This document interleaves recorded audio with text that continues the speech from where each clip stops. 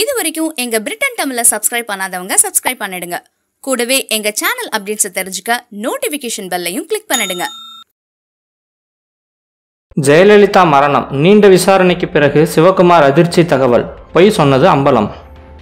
ஜெயலலிதா மரணம் குறித்து ஓய்வு பெற்ற ஹைகோர்ட் நீதிபதி ஆறுமுகசாமி தலைமையிலான ஆணையம் விசாரணை நடத்தி வருகிறது. ஜெயலலிதா அப்போலோ மருத்துவமனையில் அனுமதிக்கப்பட்டது முதல் இறந்தது வரையிலான காலகட்டத்தில் நடந்தவை குறித்து விசாரிக்கப்பட்டு வருகிறது. இன்று மூன்றாவது முறையாக சசிகலாவின் உறவினர் மருத்துவர் சிவகுமார் விசாரணைக்கு ஆஜரானார். ஜெயலலிதா அப்போலோ மருத்துவமனையில் அனுமதிக்கப்பட்டது முதல் இறந்தது வரை தமிழக பொறுப்பு கவர்னராக வித்யாசாகர் ராவ் இருந்தார். ஜெயலலிதா சிகிச்சையில் இருந்தபோது வித்யாசாகர் ராவ் அப்போலோ மருத்துவமனைக்கு நேரில் சென்றார். அவ்வப்போது ஜெயலலிதாவின் உடல்நிலை குறித்து தகவல் கவர்னர் அலுவலகத்தின் மூலம் வெளியிடப்பட்டது.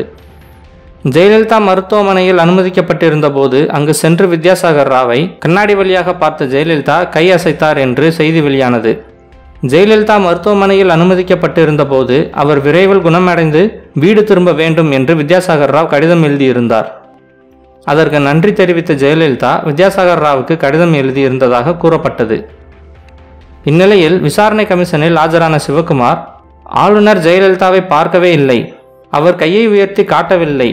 மேலும் அவர் கண்ணாடி வழியாக மட்டுமே ஜெயலலிதாவை பார்த்தார் என்றும் கூறியுள்ளார்.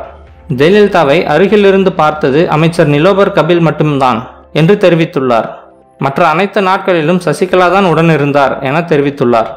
மேலும் இது போன்ற செய்திகளுக்கு இணைந்திருங்கள். பிரிட்டன் தமிழ் தொலைக்காட்சி.